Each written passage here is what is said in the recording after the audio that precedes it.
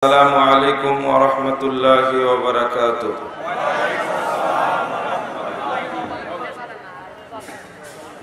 إن الحمد لله نحمده ونستعينه. من يهده الله فلا مضل له ومن يضلل فلا هادي له. وأشهد أن لا إله إلا الله وحده لا شريك له. وأشهد أن محمدا عبده ورسوله. أما بعد فأعوذ بالله من الشيطان الرجيم. فمن كان يرجو لقاء ربه فليعمل عملا صالحا ولا يشرك بعبادة ربه احدا.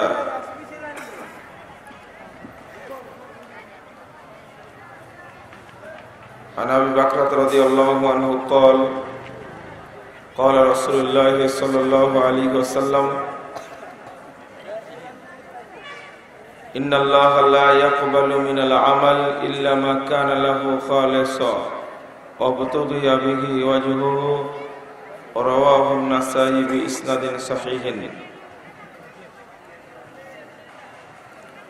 عن عائشة رضي الله تعالى عنها قالت قال رسول الله صلى الله عليه وسلم من عمل عملا ليس عليه امرنا فهو رد رواه مسلم সম্মানিত সভাপতি উপস্থিত ওলামায় কেরাম আমার পরে আলোচনায় আসবেন শেখ আমানুল্লাহ বিন ইসমাইল আল মাদানী হাফিজাহুল্লাহ তালা উপস্থিত অন্যান্য ওলামা কেরাম, অতিথিবৃন্দ, সুধীমণ্ডলী, সামনে উপবিষ্ট শ্রদ্ধক মুসলিম ভাতৃমণ্ডলী, আমার প্রাণপ্রিয় ছাত্র ও যুবক ভাইরা পর্দার আলালের মা ও বোনেরা। আরও উপস্থিত বাংলাদেশ সরকারের বিভিন্ন পর্যায়ের সদস্যবৃন্দ। সকলকে আজকের মাহফিলে আন্তরিক অভিনন্দন জানাচ্ছি এবং আল্লাহর কাছে দোয়া করছি। আল্লাহ যেন আমাদের মাহফিলকে কবুল করে নেন। যারা এই মাহফিলের আয়োজন করেছেন, সময়, শ্রম, অর্থ, মেধা, বুদ্ধি ব্যয় করেছেন, এবং আপনারা যারা দূর দূরান্ত থেকে এসে মাহফিলে হাজির হয়েছেন, আল্লাহ রব্বুল আলমিন আপনাদের, আমাদের সকলকে জান্নাতুল ফেরদাউসের সদস্য হিসাবে কবুল করে নিন।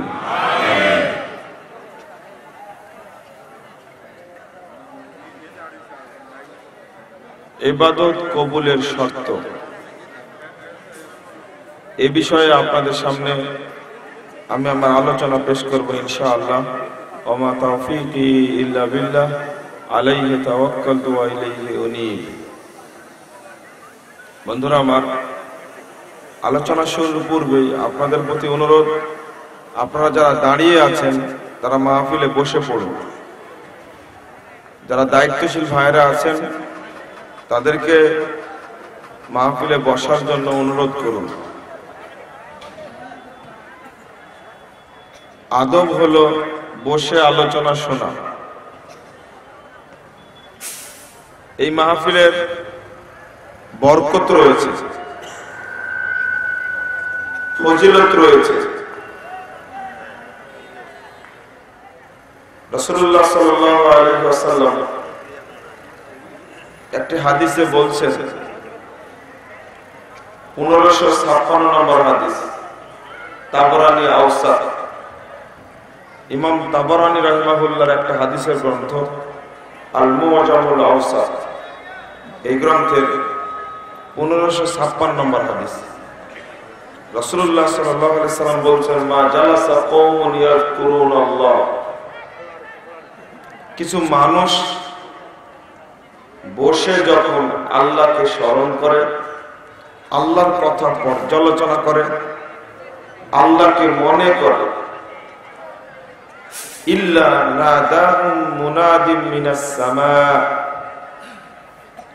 তখন আসমান থেকে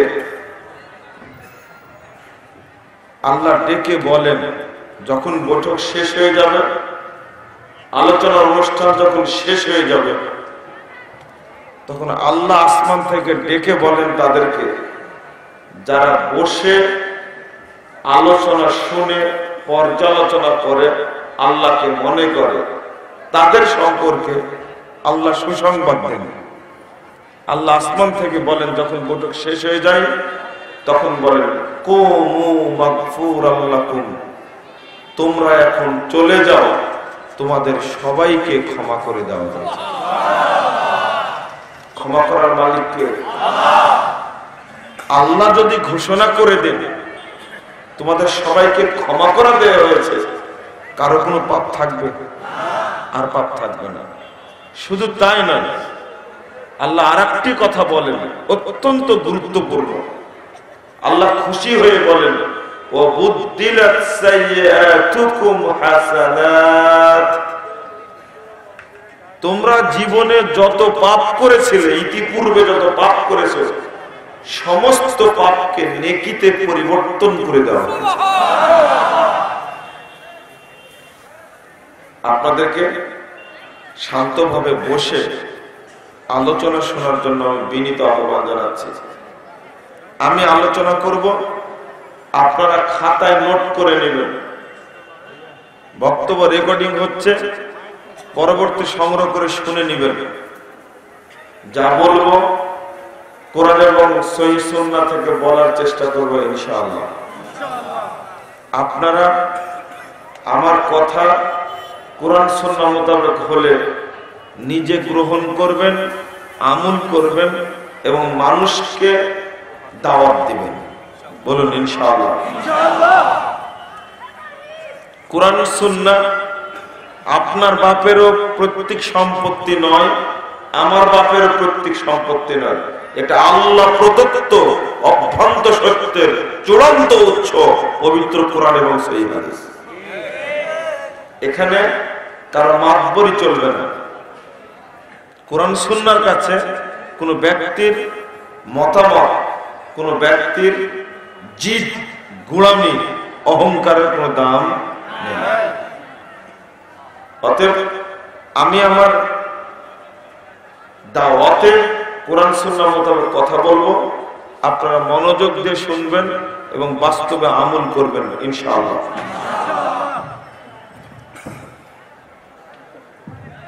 এবাদত কবুলের শর্ত দুইটি। অন্তত আমরা যারা এখানে উপস্থিত আছি, এটাও তো একটা এবাদত, তাই না? কবুল হবে কখন?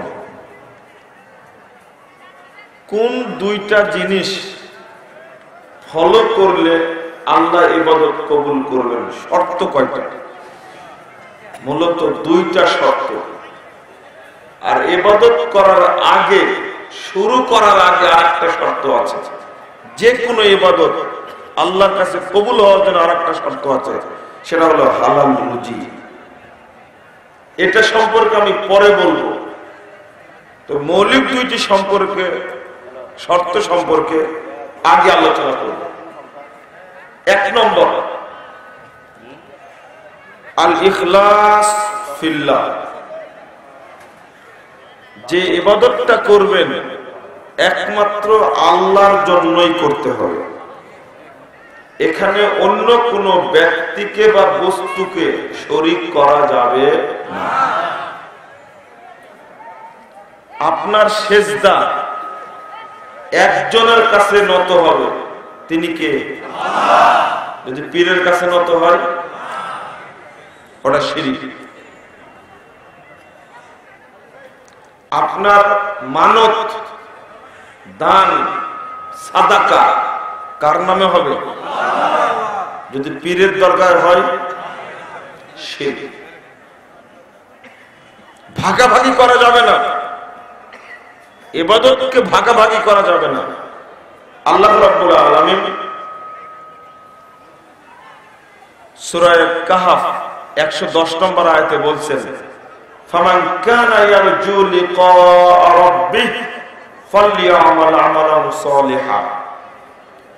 যে ব্যক্তি চায় আল্লাহর সঙ্গে সাক্ষাৎ করতে। যে ব্যক্তি আল্লাহর সঙ্গে সাক্ষাৎ করতে চায় আল্লাহ বলছেন, আল্লাহর যে দিদার চাই, তাকে দুইটা কাজ করতে হবে। আমালান সালিহা আমলে করে। এক।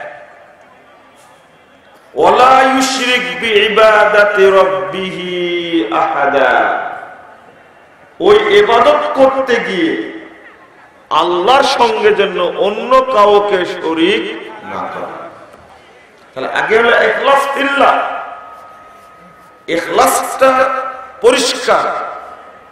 খুলুসিয়াতটা স্বচ্ছ হতে হবে। নিয়াতটা পরিষ্কার হতে হবে। এক নম্বর শর্ত হলো আল্লাহর জন্য ইবাদতকে খাস করা। আর অন্য কারও জন্য খাস করতে হবে না। শরিকও করা যাবে না। এই একটা শর্ত। আর একটা শর্ত হলো ইত্তিবায়ে সুন্নাহ। রসুল মোহাম্মদ সাল্লাম ওই এবাদতটা যেভাবে করেছেন, যেই স্থানে করেছেন, যে সময়ে করেছেন, যে কারণে করেছেন, যে পরিমাণ করেছেন, ওইভাবেই করতে হবে। এর ব্যতিক্রম হলে এবাদত হবে না।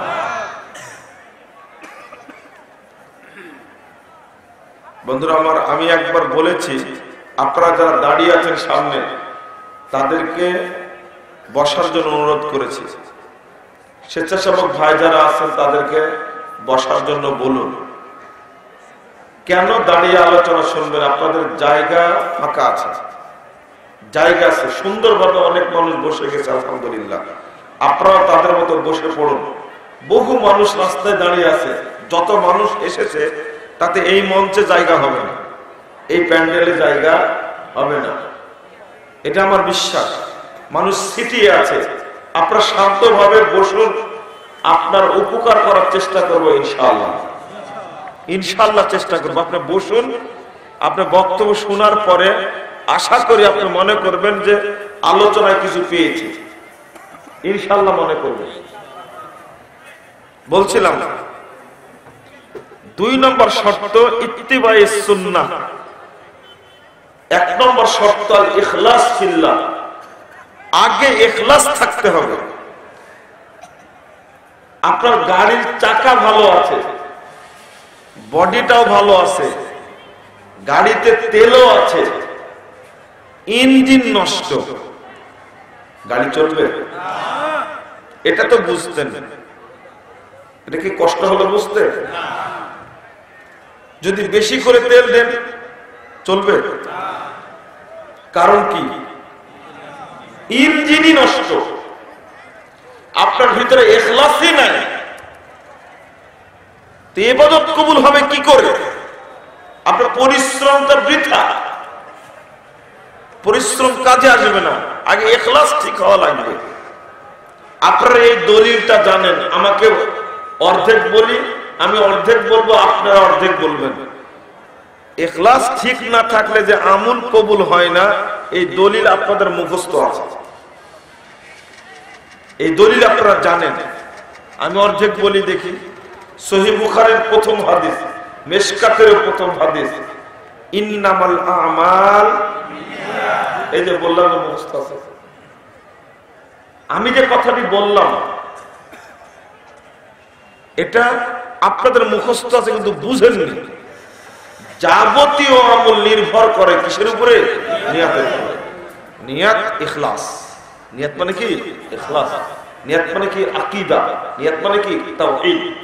যার মধ্যে তাওহীদ নাই, যার মধ্যে আকিদার বিশুদ্ধতা নাই, ও কিয়ামত পর্যন্ত যদি বয়স পায়ার আমল করে, ওর কোন এবাদত কবুল হবে না। আগে এখলাসটা ঠিক করতে হবে। এখলাস ঠিক রাখবেন কেমনে? এখলাস ঠিক থাকবে তখনই যখন আপনার হৃদয়ের কোন শিরিকের ছোঁয়া লাগবে না। শিরিকের ছোঁয়া লাগা মাত্রই, তাগুতের ছোঁয়া লাগা মাত্রই আপনার এখলাসটা নষ্ট হয়ে যাবে। আপনার ইঞ্জিনটা নষ্ট হয়ে যাবে। আর যখন ইঞ্জিন নষ্ট হবে, তখন তেল দিয়েও কোনো কাজ হবে আবার ইঞ্জিনকে ভালো করতে হবে। ভালো না করা পর্যন্ত যত এবাদত করেন না কেন এবাদত আল্লাহ দরবারে কবুল হবে না। এক, নিয়াত শব্দের অর্থ কি? বলেন তো।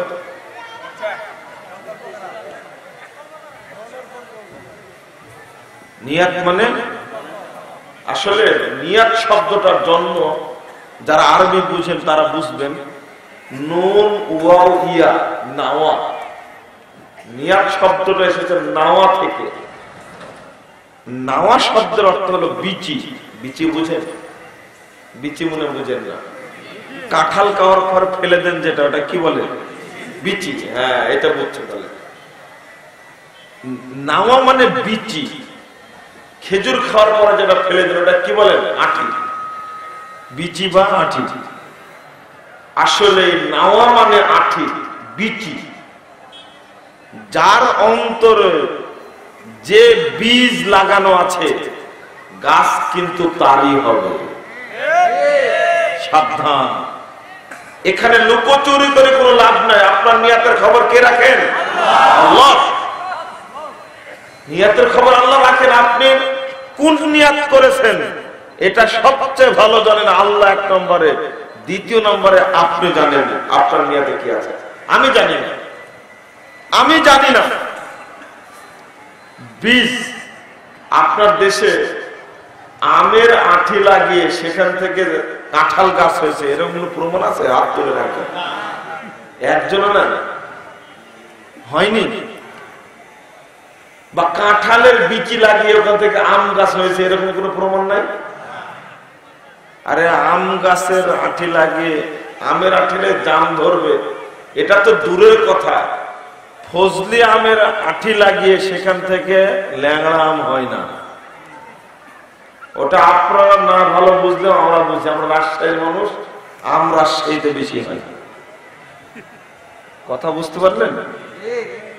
আম একই জাতের সব, কিন্তু ফজলি আমের আঠি লাগিয়ে সেখান থেকে যে লকনাম হয়েছে, এর কোনো প্রমাণ নাই। তাহলে আপনার অন্তরে যেটা আছে, গাছ কিন্তু তারই হবে। যদি ইসলামের আঠিটা পুতা থাকে, তাহলে আপনি ইসলামকে অনুসরণ করলেন। আর যদি চার মাঝাবের আঠি পুতা থাকে, তাহলে চার মাঝাবের অনুসরণ করলেন। আঠির মধ্যেই পার্থক্য, জীবনে না। যদি চার তরিকার আঠি পুঁতে রাখেন আপনি গাছ তো তারই হবে। বোঝেননি কথা? এটা তো সহজভাবে বুঝার কথা। আমি জানি ফেনীর মানুষ খুব ভদ্র। বহুদিন আগে আসছিলাম, এই মহিবলের এই আশেপাশে কোথাও যেন আসছিলাম। আমি ভুলে গেছি, প্রায় পাঁচ সাত বছর আগের ঘটনা। কোথায়? ফরহাদনগর। আপনার মনে আছে? আচ্ছা। এই আশেপাশে কোথাও যেন হবে। সেখানে প্রোগ্রামটা, অনেক বড় প্রোগ্রাম হয়েছিল, প্রশ্নোত্তর হয়েছিল শেষে, অনেক সময় যাব। তো আমি এমন ভাষায় কথা বলছি না যে ভাষাটা আপনারা বুঝবেন না। আপনার ভাষা বুঝতে পারছেন। আমি বুঝাতে চাচ্ছি, ওই বিচিটা ঠিক রাখা লাগবে।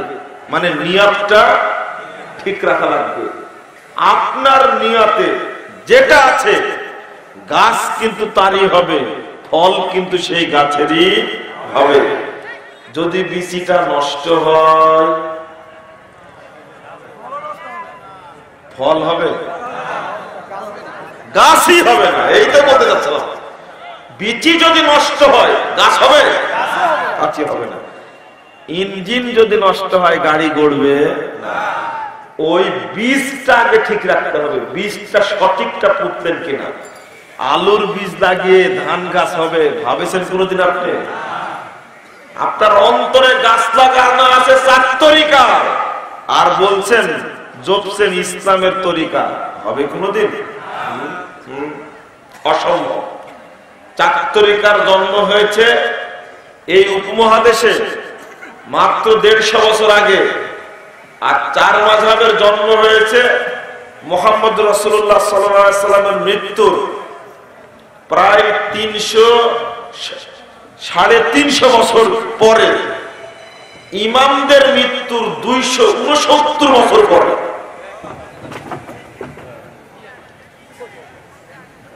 ইমামদের মৃত্যুর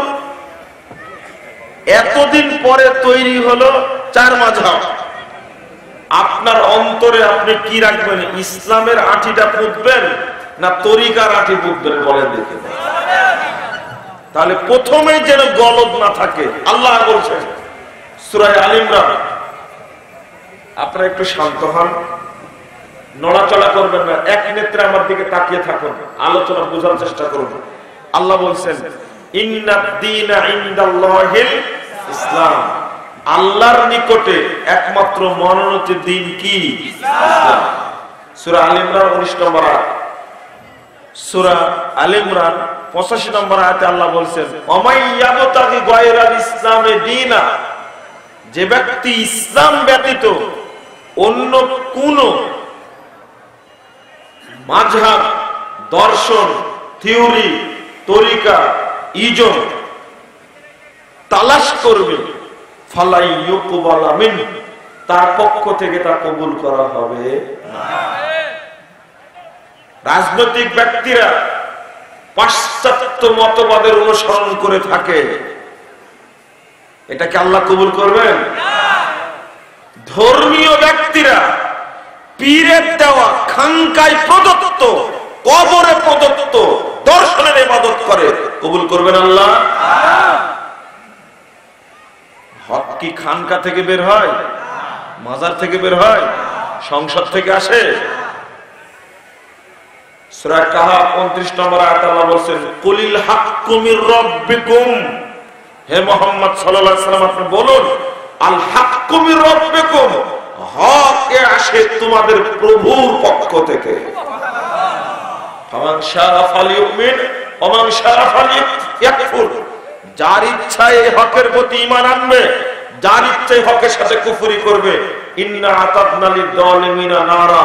তবে যারা হক মানবে না, আল্লাহ প্রদত্ত আরশ থেকে আসা এই হক যে ব্যক্তি মানবে না, আমি তার জন্য জাহান্নামকে প্রস্তুত করে রেখেছি। হক আন্তর্জাতিক আদালত দিতে পারে না, হক আমেরিকার হোয়াইট হাউস থেকে আসে না, হক জাতিসংঘের সদর দপ্তর থেকে আসে না, এটা সরাসরি আসে আল্লাহ রাব্বুল আলামিনের পক্ষ থেকে। ওই চিন্তা করে কোনো লাভ নাই, ভেবে কোনো লাভ নাই। আগে হকটা চিন্তা হবে। ওই হকের প্রতি যদি ইমান থাকে, তারপরে যদি আমল করেন, তাহলে আমল কাজে আসবে। মোহাম্মদ রসুল্লাহ সাল্লাম নিজের পক্ষ থেকে কিছু কথা বলার অধিকার রাখতেন? সাহস ছিল? আপনারা বলে দিলেন, একটা কথা দলিল বিহীন কোন কথা বলে ফেললেন আপনি। শরীয়তকে আপনার বাপের প্রত্যেক সম্পত্তি আপনার যা ইচ্ছা তাই বললেন কেন? আল্লাহ আল্লাহর নবীকে বলছেন। সূরা মায়েদা 67 নম্বর আয়াত হে রাসূল, বাল্লিগ, আপনি পৌঁছিয়ে দিন। মা উনজিলা, যা নাজিল করা হয়েছে, ইলাইকা আপনার প্রতি মির রব্বিক আপনার প্রভুর পক্ষ থেকে ওইটা পৌঁছাবে আল্লাহ বলছেন, মোহাম্মদ আপনার নিজের পক্ষে পৌঁছাবেন না। আপনি পৌঁছে দিন, তাবলীগ করুন। কিসের?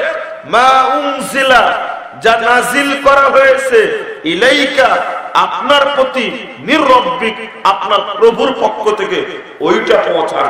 নিজের পক্ষ থেকে কোনো কথা বলতে পারবেন না। আল্লাহ বিশ্ববাসীকে বলছেন নজম 3 এবং 4 নম্বর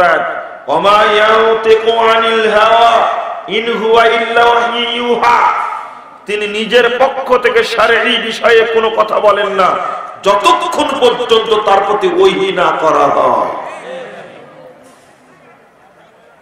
আল্লাহ বলছেন, মোহাম্মদ সাল্লাল্লাহু আলাইহি আপনি বলুন,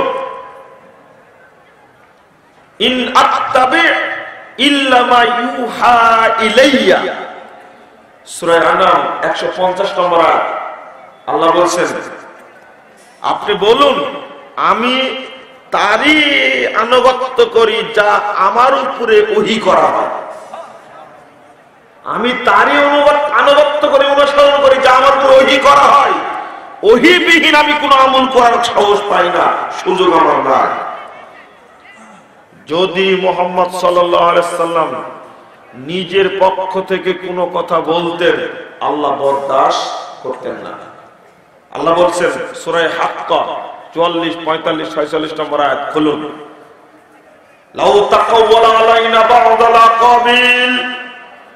বিশ্ববাসী শুনে রাখো, যদি এই মোহাম্মদ নিজের পক্ষ থেকে কোনো কথা রচনা করত, যদি নিজের পক্ষ থেকে কোনো কথা ধরত আমি ডান হাত দিয়ে মোহাম্মদকে ধরে ফেলতাম।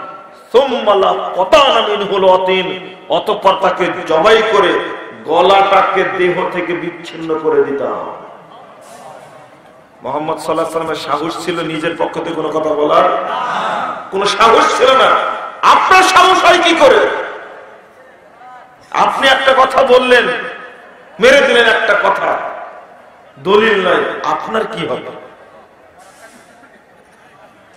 আপনার অবস্থাটা কি হবে? বন্ধুরা আমার, আপনাদের একটা জিনিস বুঝতে হবে, সেটা হলো হক এবং বাতিল দুইটা জিনিসই আছে নাকি? সত্য এবং মিথ্যা দুইটাই আছে। সুন্নাত এবং বেদাত দুইটাই আছে। শিরিক এবং তাওহিদ দুইটাই আছে। সহি এবং জয়ীব দুইটাই আছে। আছে না? মানবেন কোনটা? সহিটা না জয়ীবটা? সহিটা। এই জিনিসটা মানুষকে আমরা বুঝাতে অক্ষম। প্রথমে আগে ইমান আনতে হবে এই মর্মে। প্রথমে ইমান আনতে হবে এই মর্মে। যেহেতু আমি বলেছি আবদুহু যেহেতু এই বাক্য আমি বলেছি সুতরাং আকীদাগত ভাবে আগে স্বীকার করে নিতে হবে যে মনে প্রাণে বিশ্বাস করে নিতে হবে। ইসলামের মধ্যে কোরআন এবং সহি সুন্নার মধ্যে যা আছে, কেবল সেটাই গ্রহণযোগ্য। এর বাহিরে যেটা থাকবে গ্রহণযোগ্য, এটাকে বিশ্বাস করে নিতে হবে। এখলাসটা ঠিক নাই। আমি যেটা বোঝাতে চাচ্ছিলাম, আবার ওখানে ফিরে যাই। আপনি অজু করলেন আপনার অজু ছিল, পেশাব করলেন। অজু আছে? একটুকু নাই? ভালো করে বুঝেন তো দেখি।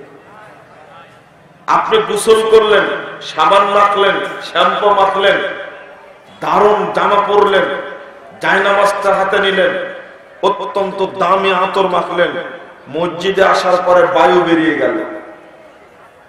ওজু আছে? এত কিছু প্রস্তুতি নিলে তাও নাই?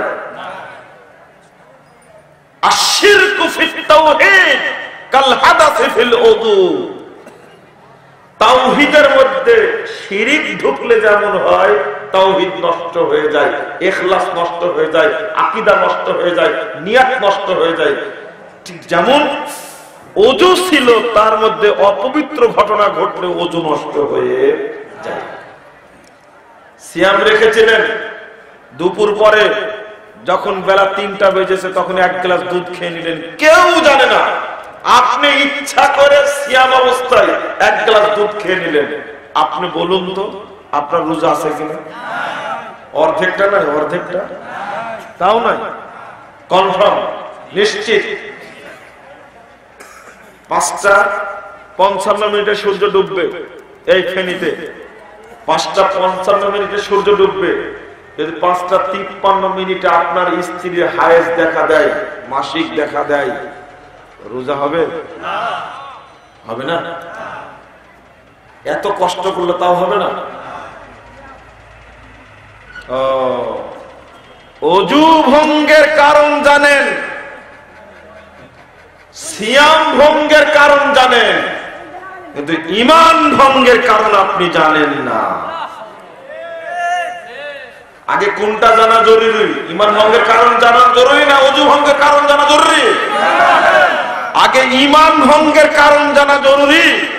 আগে তাওহীদ সম্পর্কে জানা জরুরি। দুর্ভাগ্য, ওইটা জানি না। খুব সুন্দর বলতে পারলাম ওজু নাই। খুব সুন্দর বলতে পারলাম। আমার সিয়াম নাই, আমার রোজা নষ্ট হয়ে গেছে। কিন্তু ইমান নষ্ট হয় কি করলে, এটা আমার জানা। আমি জানার চেষ্টাও করি না।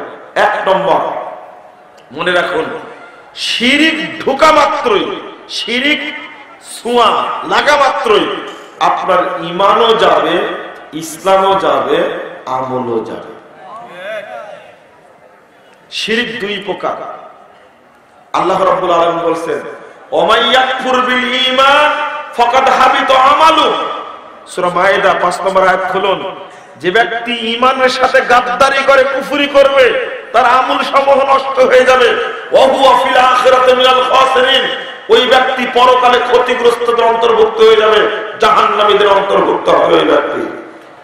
যদি কোন ব্যক্তি ইমানের সাথে কুফুরি করে ইমানের সাথে কুফুরি মানে ইমানের সাথে শিরিক করে। 82 নম্বর আয়াত আল্লাহ বলছেন, আল্লাযীনা আমানু ওয়া লাম ইয়ালবিসু বিযুলমিন। আল্লাহ বলছেন, একটা শর্ত, যারা ঈমান আনবে, ঈমানের সাথে যদি শিরিকের মিশ্রণ না করে, আল্লাহ বলছেন, যারা ঈমান আনবে, আর ঈমানের সাথে শুধু শিরিকের মিশ্রণ করবে না, শিরিক না তার সাথে, আল্লাহ আল্লাহ রাব্বুল বলছেন, উলাইকা লাহুমুল আমনু ওয়া তাদের জন্য এই দুনিয়াতে এবং পরকালে আল্লাহর পক্ষ থেকে নিরাপত্তা রয়েছে। বলুন, আলহামদুলিল্লাহ। একটা পাপ শুধু। বেশি না কটা ছেলে।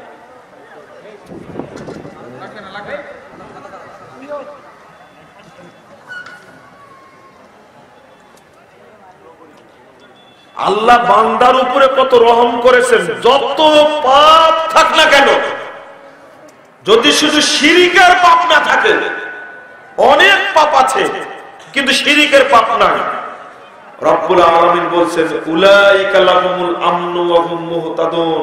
তাদের জন্য এই দুনিয়াতে নিরাপত্তা আছে, পরকালেও নিরাপত্তা আছে, তারাই হলো হেদায়েত প্রাপ্ত বলুন, আলহামদুলিল্লাহ। আল্লাহর বড় শুকরিয়া আল্লাহ একটা শর্ত করেছেন। শিরিক নাই। আপনি এখানে আর একটা হাদিস শুনে নিন। জীবনে শিরিকের পাপ করবেন না। জীবনে কোনোদিন শিরিকের পাপ করবেন না। যেদিন শিরিক করবেন সেই দিন আপনার ইমানও যাবে, আমলও যাবে, ইসলামও যাবে। সেদিন শেষ। এই জন্য আমরা বলি, শিরিক থেকে বিরত থাকুন। হাদিসে কুৎসি একশো চুরানব্বই পৃষ্ঠের হাদিস। দ্বিতীয় খণ্ডের তিরমিজির মধ্যে এসেছে। আল্লাহ রাসূল সাল্লাল্লাহু আলাইহি ওয়াসাল্লাম বলছেন, আল্লাহ তাআলা বলেন, ইয়া ইবনা আদম, হে আদম সন্তান, লাউ আতাইতানি বিকুরাবিল আরদি খাতায়া, ওয়ালা তুশরিক বি শাইয়া। হে আদম সন্তান, তুমি যদি আমার কাছে উপস্থিত হও, তুমি যদি আমার কাছে উপস্থিত হও, আসমান থেকে জমিন পর্যন্ত ভর্তি পাপ নিয়ে অলা তুশরিক বি শাইয়া এতগুলো পাপের মধ্যে কোনো শিরিকের পাপ নাই। আবার বুঝুন হাদিসটা। আল্লাহ বলছেন, হে আদম সন্তান, তুমি যদি আমার কাছে উপস্থিত হও, আসমান থেকে জমিন পর্যন্ত, উত্তর থেকে দক্ষিণ, পশ্চিম থেকে পূর্ব পর্যন্ত, ভর্তি পাপ নিয়ে তুমি যদি আমার কাছে উপস্থিত হও, অলা এতগুলো পাপের মধ্যে কোনো শিরিকের পাপ নাই। শুনে রাখো মাগফিরাতান। আমি আল্লাহ তোমার কাছে সমস্ত পাপ ক্ষমা করে দেওয়ার হাজির হব। আল্লাহ বলছেন নিসা 48 নম্বর আয়াত 116 নম্বর আয়াত, ইন্নাল্লাহা ইয়াগফিরু আন ইউশরাকা বিহি শাইয়া ওয়া ইয়াগফিরু মা দুনা যালিকা লিমান ইয়াশা। নিশ্চয় আল্লাহ শিরিকের পাপ ক্ষমা করেন না। চাইলে অন্য পাপ ক্ষমা করে দিতে পারে। এটা আল্লাহরই ঘোষণা। একটা বললাম কোরআন আয়াত আর একটা বললাম হাদিসে কুদছি আপনি মনে রাখুন, শিরিকের পাপ আল্লাহ ক্ষমা করবেন না। তবে আজকে শুনলেন, শিরিকের পাপ ক্ষমা হয় না। মাজারে টাকা দিয়েছেন অরুষে গরু দান করেছেন, টাকা দান করেছেন, মানত করেছেন, সাতটা করেছেন। এতদিন জানতেন, পীর সাহেব কবরে জীবিত থেকে আমার উপকার করতে পারে। তিনশো বছর আগে, পাঁচশো বছর আগে, এক হাজার বছর আগে মারা গেছে পীর সাহেব। আপনার কলবে আছে, ধারণা আছে যে পীর সাহেব কবরে জীবিত থেকে আমার উপকার করতে পারে, আমার ক্ষতি করতে পারে। এই আকিদা হলো শিরকে আকবার। এটা হলো শিরকে আকিদা এটা। এই আকিদা পোষণ করা যাবে না। সিরিকে তো ডুবে আছে একবারে। বিশেষ করে চিটাগাং সিলেট, এই দুইটা জায়গা বরিশাল, এই তিনটা বিভাগ এখানে শিরিক চাষ হয় না, শিরিক উৎপাদন হওয়া বিরাট বিরাট পীর মাজারের ফ্যাক্টরি রয়েছে। আপনাদেরকে শিরিক থেকে বাঁচার জন্য বলছি, কাল কিয়ামতের মাঠে এগুলো সব সাক্ষী হবে। এই মাটি সাক্ষী হবে, এই মাইক সাক্ষী হবে, এই বাঁশ সাক্ষী হবে, সামিয়ানা সাক্ষী হবে। শিরিকের বিরুদ্ধে আমি বলেছি, আল্লাহ রব্বুল আলমিন সাক্ষী হিসাবে দাঁড় করাবেন এই সমস্ত বস্তুকে। আপনার এক পা আগানোর কোন সুযোগ থাকবে না। এক পা আগানোর সুযোগ থাকবে না। আমি ইমান যেন ধ্বংস না হয়, সেই জন্য আপনাদেরকে শিরিক সম্পর্কে স্পষ্ট ভাষায় বলছি, শিরিক করবেন না। আপনার বয়স ষাট বছর হয়েছে, সত্তর বছর হয়েছে, নব্বই বছর হয়েছে, একশো বছর হয়েছে, একশো বছর বয়স হয়েছে, কোনদিন শিরিক করেননি। মালয়েশিয়ায় চাকরি করেন ২৬ বছর যাব দেশের মানুষ আপনাকে খুব মূল্যায়ন করে, দেশে অনেক কাজ করেছেন, ভোটে আপনাকে দাঁড়াইয়া দিল। তখন আপনারা করলেন কি? বিপুল পরিমাণে ভোট দিয়ে লোকটাকে, খুব ভালো মানুষ লোকটা, তাকে আপনারা জয়ী করলেন। লোকটা কি করল জানেন? ওই আল্লাহর কৃতজ্ঞতা স্বীকার না করে পরের দিন সকালবেলা ওই যে স্কুল মাঠে তিনটা খাম্বা আছে না, ওর কাছে গিয়ে ফুল দিয়ে দিল। ও নব্বই বছরে যা করেছে, এক নেকি যদি থাকে তাহলে কোরআন মিথ্যা হয়ে যাবে। এক নেকি যদি থাকে, কোরআন মিথ্যা হয়ে যাবে। এটা শিরিক আকবার। শুধু নেকি, ওর আমুল নাই, ওর ইমান নাই, সঙ্গে সঙ্গে ওই ইসলাম থেকে খারিজ। আল্লাহ বলছেন, ওয়ালাউ আশরাকু লাহাবিত আনহুম মা কানু ইয়ামালুন সূরা আনাম 88 নম্বর আয়াত খুলুন তারা যদি শিরিক করে যা আমল করেছে জীবনে সবই নষ্ট হয়ে যাবে এটা আল্লাহর ভাষা এটা কি আমার ভাষা এটা আল্লাহর ভাষা এটা আমার ভাষা না পঁয়ষট্টি নম্বর আয়াত সূরা জুমারের মধ্যে আল্লাহ রাব্বুল আলামিন বলছেন ولقد أوحي إليك وإلى الذين من قبلك لئن أشركت ليحبطن عملك মোহাম্মদ শুনে রাখো। ও মোহাম্মদ সাল্লাল্লাহু তুমি শুনে রাখো। লালাকাদ উহিয়া ইলাইকা ওয়া ইলাল্লাযিনা মিন ক্বাবলিক তোমার উপরে যেটা ওহী করা হচ্ছে সেটা আগে অন্যান্য নবীদের উপর ওহী করা হয়েছিল। লাইকা আশরাকতা তুমি যদি শিরিক করো, মোহাম্মদ, তুমি যদি শিরিক করো, আরে আপনি শিরিক করা, বাপ শিরিক করা, মা শিরিক করা, সন্তান শিরিক করা তো দূরে থাক, আমি আপনি শিরিক করা তো দূরে থাক। আল্লাহ রব্বুল আলমিন শ্রেষ্ঠ নবী সাইদুল মুরসালিন মোহাম্মদ আলাইহি সাল্লামকে লক্ষ্য করে বলছেন, ভাই আশরাকতা মোহাম্মদ, শোনো তুমি যদি শিরিক করো অবশ্যই অবশ্যই তোমার বাতিল হয়ে যাবে। বলে তুমি জাহান্নামীদের অন্তর্ভুক্ত হয়ে যাবে। আল্লাহ বলছেন সরাসরি মোহাম্মদ সাল্লামকে লক্ষ্য করে, তোমার আমলও বাতিল হবে। আরে, আমার আমলে তো কোনো দামই নাই। শিরিক কত খারাপ। আপনি ভাবছেন, শিরিক করে মারা গেলেন আজীবন কোমরে মাজায় ডোর পরে আছেন ডোর নাকি সুতা? সুতা লাগানো আছে। ও হাজি সাহেব, তামার বালা কিনে নিয়ে আসছেন, তামার চেন কিনে নিয়ে আসছেন হজ করতে গিয়ে। এসে বিতরণ করলেন। হাজি সাহেব দুইটা জিনিস কিনে নিয়ে আসে। একটা তামার চেন আর তসবি দানা। কিনে এসে বিতরণ করে। হাজি সাহেব, হজ কিন্তু মক্কাতে আছে, বাংলাদেশে আসেনি। বাংলাদেশে আসেনি। আপনি শিরিক কিনে নিয়ে আসছেন।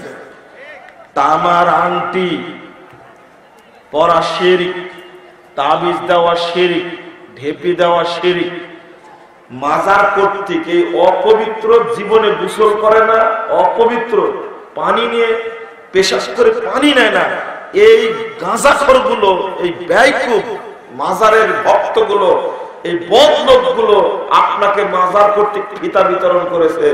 আপনার পবিত্র হাতে ওই অপবিত্র ফিতা বেঁধে আছেন।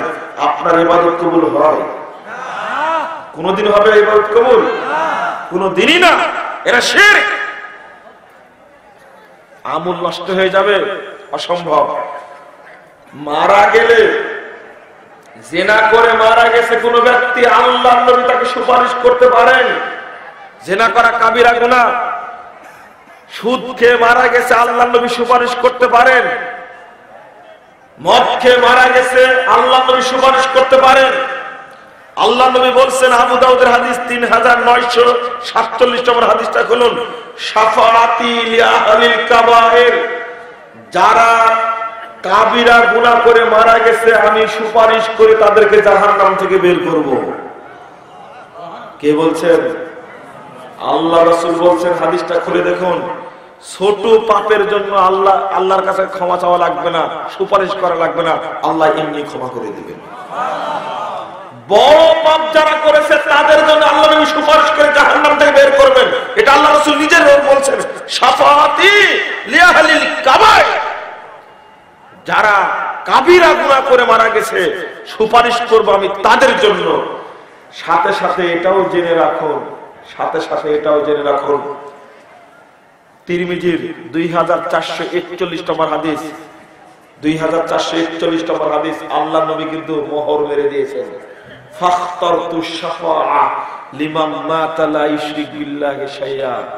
আমার সুপারিশ তার জন্য। আমার সুপারিশ তার জন্য আল্লাহ রসুল মোহাম্মদ সাল্লাহ সাল্লাম বলছেন, আমি তাকে সুপারিশ করব। লিমাম মা তালাই শ্রীবিল্লাহ সাইয়া যে ব্যক্তি মারা গেছে, অথচ আল্লাহর সঙ্গে কোনো কিছুকে শরিক করে। যে আল্লাহর সঙ্গে কাউকে শরিক করেনি, আল্লাহ রসুল সাল্লাহ সাল্লাম বলছেন, আমি তার জন্য সুপারিশ করব। আর জীবনে কোনোদিন শিরিক করবেন? হাত তুলেন। আল্লাহ তুমি আমাদেরকে শিরিক থেকে মুক্ত করো। আল্লাহ কোনোদিন যেন আমাদের মাধ্যমে শিরিক না হয়। আমি আল্লাহ তুমি হাতগুলো কবুল করো। আমি অবশ্যই শিরিক করা যাবে না। অন্য পাপ হয়ে যেতে পারে আমি তৌবা করব। আর যদি আগে থেকে শিরিক করে থাকেন আগে থেকে যদি শিরিক করে থাকেন আপনি তাহলে আজকে তৌবা করেন যেন কালকে সময় না দেন আপনি। আল্লাহ আমি এতদিন মাজারে সেজদা করেছি। আল্লাহ, আমি এতদিন অরুষে গরু দান করেছি, ছাগল দান করেছি, ছাগল মানত করেছি। আল্লাহ সন্তান চাওয়ার জন্য পীরের দরগায় গিয়েছি। আল্লাহ এত শেরিক করেছি, আমি একজন জালেম। আল্লাহ তোমাকে মাফ করে, তোমার কাছে ক্ষমা চাচ্ছি, আল্লাহ ক্ষমা করে দেবেন।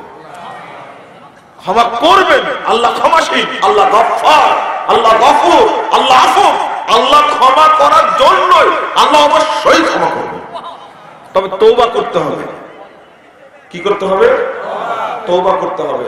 আল্লাহ রসুল সাল্লাহ বলছেন, এই হাদিসটা পাবেন তিরমিজির দ্বিতীয় খণ্ডের ছিয়াত্তর পৃষ্ঠার মধ্যে আদম প্রত্যেক আদম সন্তান ভুল করবে প্রত্যেক আদম সন্তানের ভুল হবে, পাপ করবে, ভুল হতে পারে। তবে যারা ভুলকে স্বীকার করে তৌবা করে, আল্লাহর নিকটে তারাই শ্রেষ্ঠ বান্দা। দেখেন, ভুল হয়ে থাকলে যদি ভুল সংশোধন করে নেন, তাহলে কত ফজিলত দেখেন। সুরায় ফুরকান, চৌত্তর নম্বর আয়াতে বলছেন, এই কথা ভুলবেন না আজকে। আমি যে আলোচনাটা করছি, এটা আজকে ভুলবেন না, যে আয়াতটা আমি তেলাওয়াত করব। আপনি এই আয়াতের কথা কোনোদিন ভুলে যাবেন না। আল্লাহ রাব্বুল আলামিন বলেন ইল্লা মান তাবা ওয়া আমানা ওয়া আমিলা আমালান ফাউলাইকা ইউবাদদিলুল্লাহু সাইয়্যাতিহিম হাসানাত।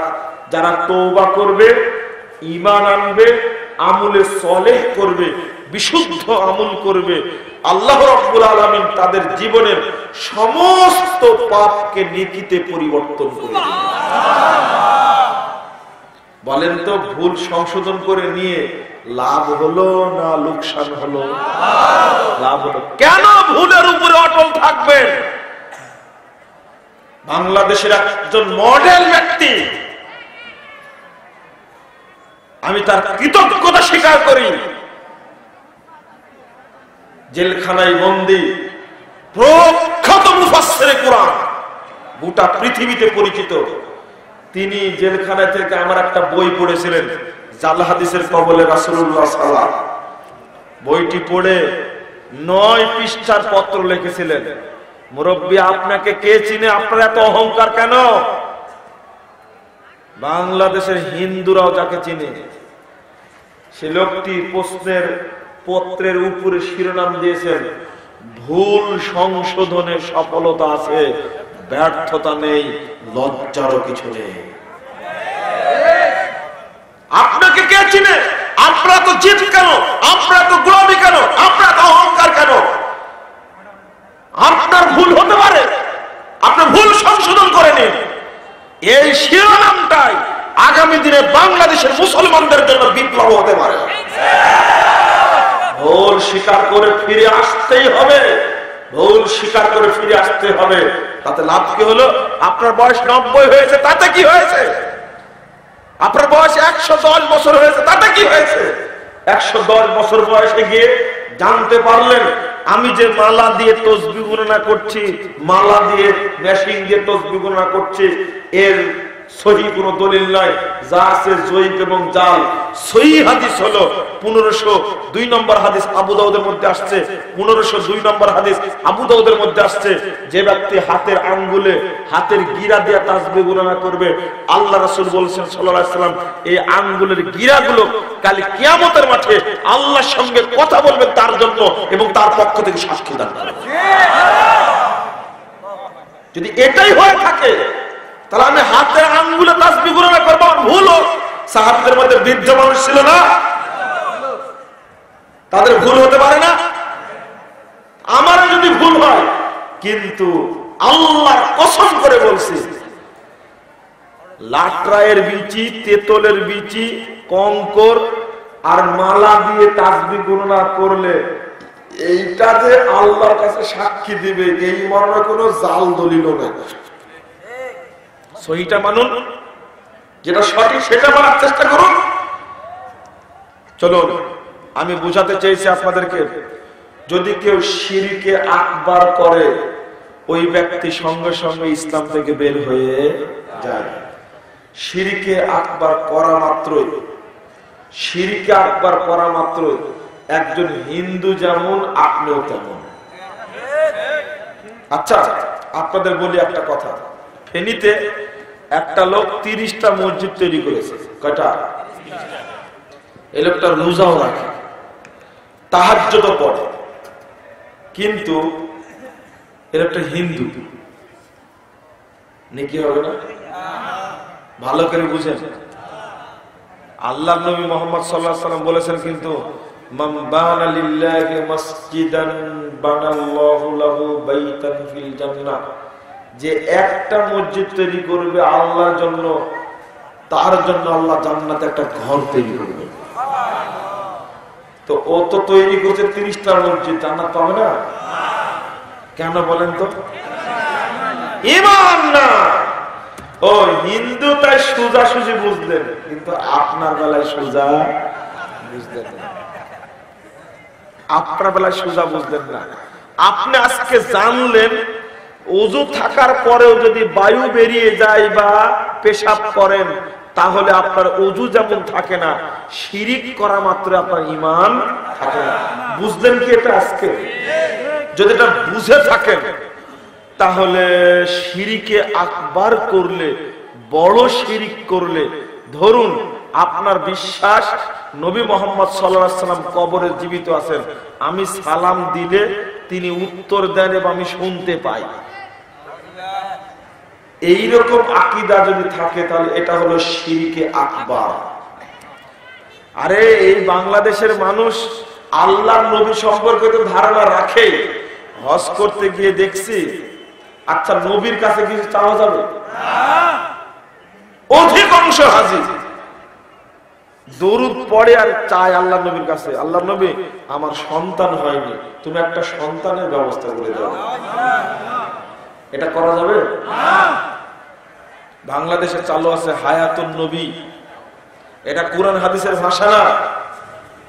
তিরিশ নম্বর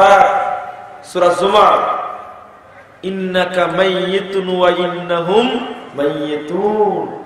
আল্লাহর নবীকে আল্লাহ বলছেন, তুমিও মৃত্যুবরণ করবে, তারাও মৃত্যুবরণ করবে। মাইয়েত এই দুনিয়া থেকে যারা চলে গেছেন, তারা কি? মৃত। ওই বারজাকি জীবনের সাথে দুনিয়া জীবনের কোন সম্পর্ক আছে? না। কোন সম্পর্ক না। যদি কেউ বলে যে আমার বাপ কবরে জীবিত আছেন, আমি ডাকলে শুনতে পাচ্ছে এবং তিনিও যেটা আমাকে বলছেন, আমি শুনতে পাচ্ছি। কি? এটা কি জায়েজ? সবচেয়ে বড় কথা আমার পীর সাহেব দরবেশ বুজুর্গ মাসায় কবরে বসে থেকে আমার জন্য দোয়া করছে। এই আকিদা পোষণ করা যাবে? হাদিসটা শুনুন, এক হাজার দশ নম্বর হাদিস সই বুখারির প্রথম খণ্ডের একশো সাঁত্রিশ পৃষ্ঠা খুলুন। আল্লাহ রসুল সাল্লাহ মৃত্যুর পরে যখন বৃষ্টি হচ্ছে না, তখন সাহাবাকেরাম বৃষ্টি চাওয়ার জন্য গিয়েছিলেন, দোয়া করার জন্য কার কাছে? আব্বাস রাজিয়াল্লাহর কাছে, রাসুলের চাচা। উমর রাজিয়াল্লাহর মতো সাহাবী, তিনি দোয়া করছেন আল্লাহ হুম্মা ইন্না নাতাওয়াসসালু, ইন্না কুন্না নাতাওয়াসসালু বিনাবিয়িকা হে আল্লাহ, আমরা নবীর মাধ্যমে তোমার কাছে পানি চাইতাম। ওয়াইন্না ওয়াইন্না নাতাওয়াসসালু বিআম্মি নাবিয়িকা এখন আপনার নবীর চাচার মাধ্যমে পানি চাচ্ছি আজকে আমাদের পানি দান করুন। তাদেরকে পানি দান করা হতো ওই মদিনাতে আল্লাহর নবী শুয়ে আছে। সাহাবা কেরাম আল্লাহর নবীর কবরের কাছে গেলেন না কেন? যদি আল্লাহর নবী মোহাম্মদ সাল্লাম তার প্রিয় সাথী, সাহাবিদের উপকার করতে না পারেন কবর থেকে, যদি আল্লাহর নবী কবর থেকে সাহাবা কেরামকে উপকার করতে না পারেন, পৃথিবীর কোন ইমাম আছে, কোন গৌস আছে, কোন কুতুব আছে, কোন পীর আছে, কোন মাসায়ক আছে, কোন দরবেশ আছে, কোন বুজুর্গ আছে, কোন মাসায়ক আছে মৃত্যুর পরে মানুষকে উপকার করবে? এই হাদিসটা জানার পরেও, বুঝার পরেও যদি উল্টা বুঝে, এটা অন্তরের খবর আল্লাহ জানে না। তার কি হবে? ইমান থাকবে না। বন্ধুরা আমার, আমি প্রথমের আলোচনাটাই অনেক বেশি করে করে ফেললাম। কারণ এখলাস যদি শুদ্ধ না হয়, এবাদত করে কোনো লাভ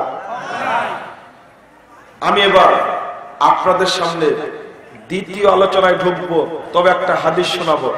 এই ভাইরা, এই যে, হম থাক, হয়েছে।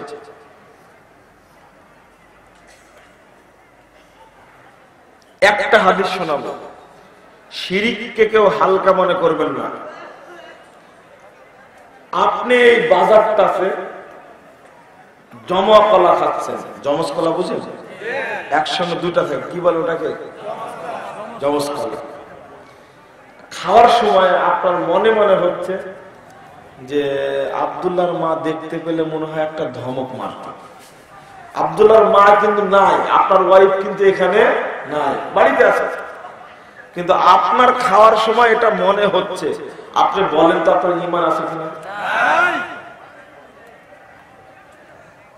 বাড়িতে যখন আপনি জমা কলা খাচ্ছেন তখন আপনার স্ত্রী দেখতে পেয়ে বলছে "এই, তুমি জমা কলা খাচ্ছ কেন? ওর দাদার দাও। বুঝলি বুঝেননি? স্ত্রী আপনাকে ধমক দিয়ে বলবে আরে তুমি জমা কলা খাচ্ছ কেন? ওর দাদার দিলেই তো হয়।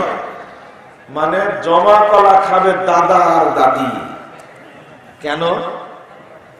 এদের বাচ্চা কাচ্চা হওয়ার সম্ভাবনা জমা কলার পাওয়ার কত, দেখছেন? ও দুইটা সন্তান বের- করার ক্ষমতা রাখে, চিন্তা করেন চিন্তা করেন জমা কলার আর পাওয়ার কত? বলেন, আপনার স্ত্রীর ইমান আছে? ও তো মনে করছে সর্বনাশ হয়ে গেল, দুইটা কলা খাইছে, বাচ্চা মনে আবার দুইটা হয় চারটা হয় কিনা বুঝেননি কথা? আপনার স্ত্রীর ইমান? জানা কথা, বুঝা কথা। জানা কথা, বুঝা কথা, স্পষ্ট জানা কথা যে কোন মহিলার পঞ্চাশ, ষাট বছর যাব এটা, সেটা ইত্যাদি গু গোবর খেয়ে চেষ্টা করছে একটা সন্তান বের করার জন্য, তাই পারেনি এখন পর্যন্ত। আর জমা পাল নাকি দুইটা সন্তান বের করে। বলেন, ইমান থাকবে? আপনার বাজারে, কালকে যদি আমি জিনিস কিনতে যাই আপনি গেলেন। ওই বাজারের দোকানের কাছে কারণ দোকানদার আপনার কাছে কোনো টাকাই পায় না। কালকে হঠাৎ করে যাবেন যাওয়ার পরে কাপড়ের দোকানে হোক বা সারের দোকানে হোক, যে আমার দুই বস্তা সার লাগবে দাম টাকাটা আমি বারোটার দিক দিয়ে দিবে, টাকা নাই। জমিতে লোক লাগছে, সার লাগবে। দিতে পার দিতে চাইবে? কেন বলেন তো? বিসমিল্লাহ হয়নি দেখছেন? একটা সিঁড়ি কথা যোগ দিয়েছে বিসমিল্লাহ যাত্রা হয়নি হ্যাঁ হ্যাঁ। ও যাত্রা হয়নি এই জন্য দিতে চাইবে না। বলেন লাভ লসের মালিক কে?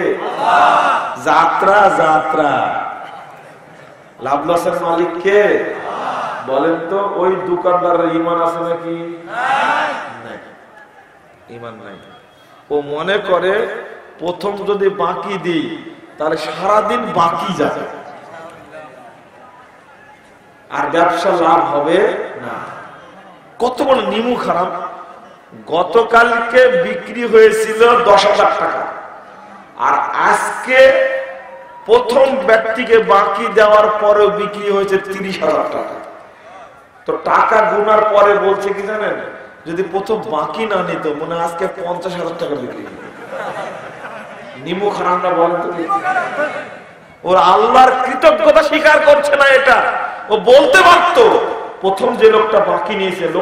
বরকতপূর্ণ ছিল। আল্লাহ তার কারণে বরকত দান করেছে।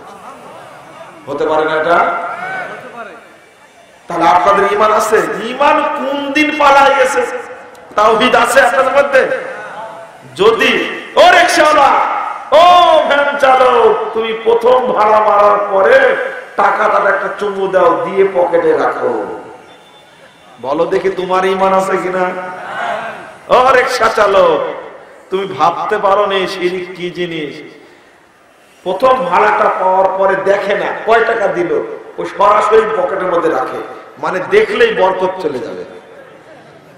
কথা বুঝেননি আপনারা? এটা কি। প্রতিদিন সন্ধ্যায় আগরবাতি জ্বালাতেই হবে দোকানে। এটা কি? চলবে না। কত শিরিক নেবেন আপনি? শিরিক, যত বুড়ি আর দাদি আছে, দাদি আর মানে বুড়ি ছিলেন না বুড়ি, এরা হলো শিরিকের ফ্যাক্টরিয়া এরা শিরিক উৎপাদন করে বাড়িতে বসে বসে।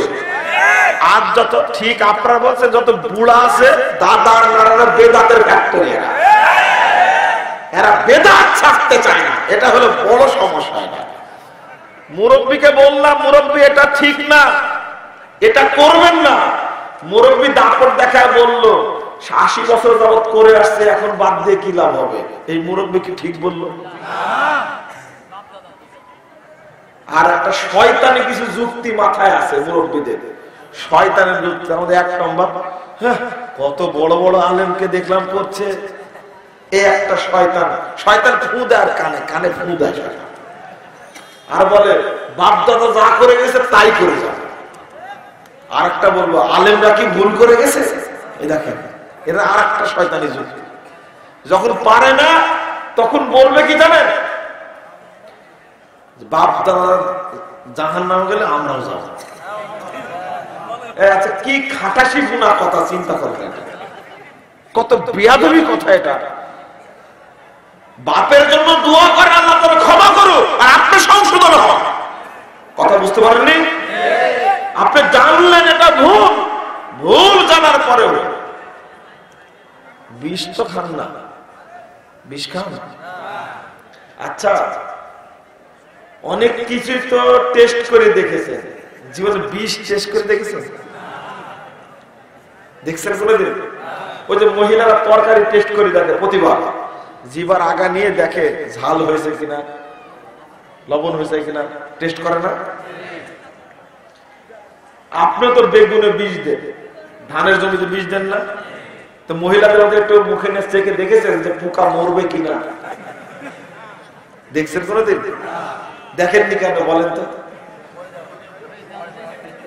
ওর নিশ্চিত বিশ্বাস খেলেই এই জন্য বিষ চেখে দেখে টেস্ট করে না বিষ মানে ওর মাঝে একটা চূড়ান্ত বিশ্বাসে খেলেই বিষ খেতে মানুষ অনেক বাঁচেও। তাহলে খান না কেন? আপনার বিশ্বাস। আরে বিষ তো দূরের কথা। আনারস খাওয়ার পরে দুধ খেলে নাকি মানুষ মরে যায়? তাই খায় না। যদিও কেউ মরেনি, প্রমাণ আছে কেউ মরেছে। কিন্তু ভয় খায় না। দুধ খাওয়ার পরে আনারস খেলে মানুষ মরে যায় যদি আনারসের প্রতি আপনার এই বিশ্বাস থাকে, বিষ খেলে মানুষ মরে, কথা ঠিক, কিন্তু অনেকে বাঁচেও এরপরে আপনি বিষ খান না।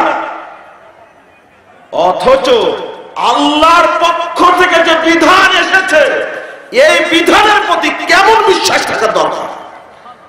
এই বিষের চেয়ে লক্ষ কোটি গুণ বেশি বিশ্বাস থাকা উচিত। ওই বিশ্বাসটা না আপনাদের মধ্যে। আর শিরিকের সাথে জড়িত হতে হবে না, সাবধান। একটা হাদিস বলেই দ্বিতীয় আলোচনায় যাব ইনশাআল্লাহ। হাদিসটা হলো খুব মনোযোগ আমাদের তাকায় থাকবেন। কেতাবুল জুহুদ ইমাম আহমদ বিন হাম্বলের একটা হাদিসের গ্রন্থ। ষোলো এবং সতেরো পৃষ্ঠায় বর্ণিত হয়েছে হাদিসের সনদ সহি মাহকুব সূত্রে সহি রসদ বলছেন, দাখালাল জান্নাতা রজুলুন বিজুবাবিন ও দাখালাল নারা রজুলুন বিজুবাবিন। একজন ব্যক্তি জাহান্নামে যাবে একটা মশার কারণে, মাসির কারণে। একজন ব্যক্তি জান্নাতে যাবে একটা মশার কারণে। একজন ব্যক্তি জাহান নামে যাবে একটি মশার কারণে। কথা কি বুঝতে পারছেন? সাহাবিরা বুঝলেন না কেই ফাতারা ইয়া রাসূলুল্লাহ? আল্লাহ রাসূলকে বলছেন, সাহাবিরা, আপনি এটা দ্বারা কি বুঝাতে চাইছেন আশ্চর্য ব্যাপার। আশ্চর্য ব্যাপার। একটা মাসিক একটা মানুষকে জান্নাতে নিয়ে যেতে পারে? একটা মাসিক একটা মানুষকে জাহান্নামে নিয়ে যেতে পারে? এটা তো আশ্চর্য প্রশ্ন একটা, তাই না? তখন আল্লাহ রাসূল বললেন তোমরা বুঝলে না? শুনে রাখো। মাররা রজুলান আলা কওমিন ওয়ালাহুম সানাম। দুইজন ব্যক্তি রাজাপুর পার হচ্ছে। আপনাদের কি রাজাপুর না এটা? রাজাপুর পার হচ্ছে। তো তাদের একটা কবর আছে, মূর্তি আছে। তো রাজাপুর বাসীর দাবি মানমাররা ফালি শাইয়া। যে এই দিক দিয়ে অতিক্রম করবে, ওই যে পীরের দরগায় ব্রেকার থাকে। থাকে না? হ্যাঁ। যেই যাবে এই দিক দিয়ে দাবি হলো তাদের এলাকাবাসীর, সেই জন্য এই মূর্তিটাকে, এই কবরকে কিছু সাতকা করে দেয়। ফকলুল আহাদিহিমা, দুইজনের একজনকে বলল, তুমি কিছু দান করো? ওই বলল আমার কাছে কিছু নেই যে আমি তাকে দান করব। তখন তারা বলল, ওয়ালাউ কুনতা বাবা যদি একটা মশা, মাছি যদি মানত করতে পারো, তাও করো। না হলে যেতে দেওয়া হবে না। তাকে একটা মাসি মানত করে আচ্ছা ঠিক আছে, আমি একটা মাসি মানত করে দিলাম। একটা মাসি মানত করে দিল। এলাকাবাসী তার রাস্তা ছেড়ে দিল, ঠিক আছে, তুমি যাও। ঠিক আছে, তুমি যাও।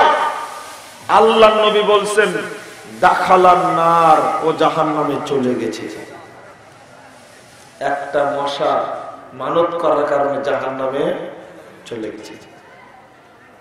অকলিল আখার দ্বিতীয় জনকে বলল তুমি কিছু দান করো? তখন সে পরিষ্কার জানিয়ে দিলেন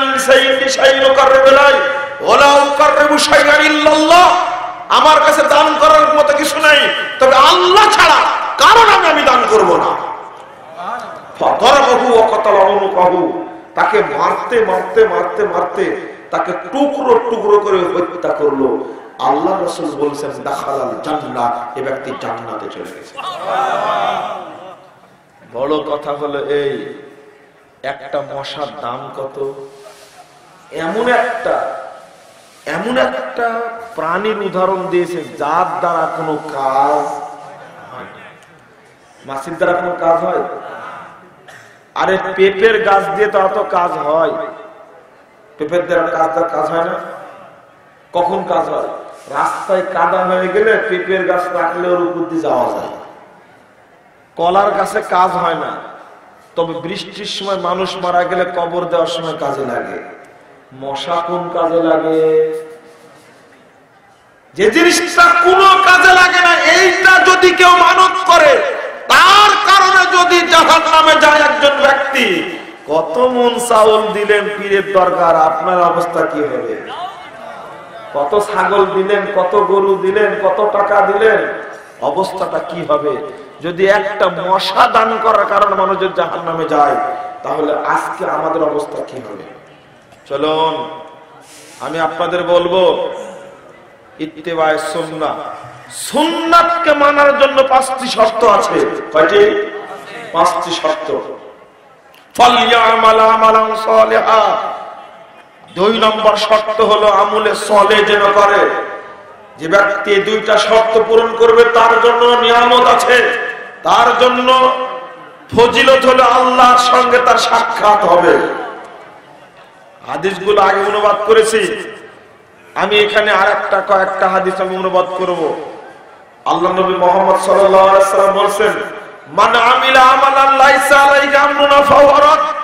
কেউ যদি কোনো আমল করে, সে আমল করার নির্দেশ যদি আমি মোহাম্মদ না দিই সই মুসলিম দ্বিতীয় খণ্ডের সাতাত্তর পৃষ্ঠা খুলুন, মূল মুসলিম খুললেই পাবেন মানে আমিলা আমালান, কেউ যদি এমন কোন আমল করে, লাইস আলাইহি আমরুনা, সে আমলটি করার নির্দেশ আমরা দেইনি ফাহুয়া রাদ।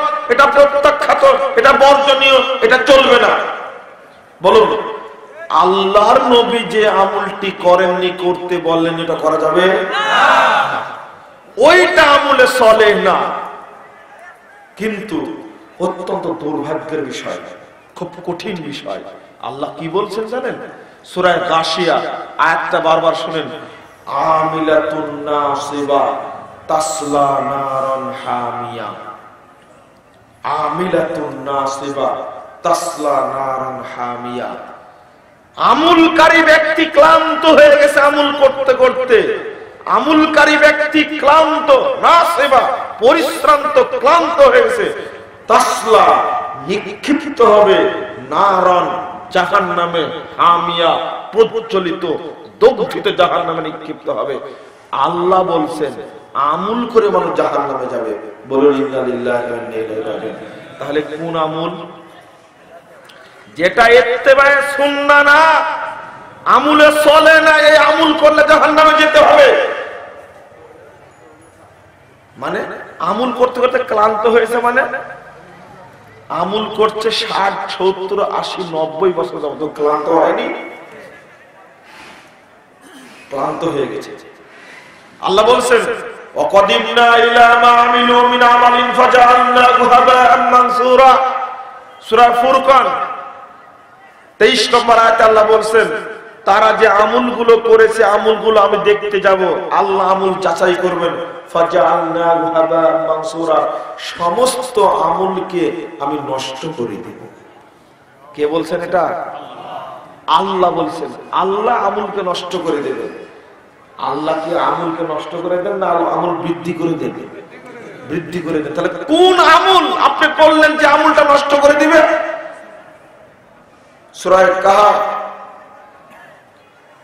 একশো